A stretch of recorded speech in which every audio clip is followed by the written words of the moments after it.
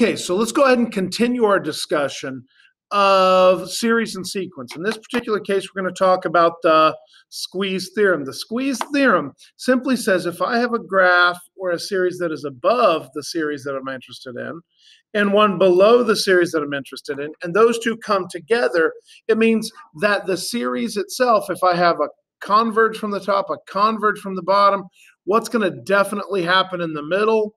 It's going to have to converge because it's squeezed between these two. Now, let's talk about the difference between an infinite series and a partial sum. Obviously, an infinite series goes on forever and ever and ever and ever, but a partial sum is only going to go part of the way.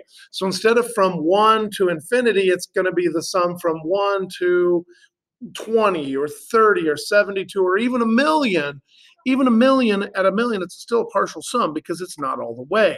What we're looking for is does it converge? Does it come have some limiting value? Okay, so we have that. Now, versus divergent, which is not bounded at all. Okay,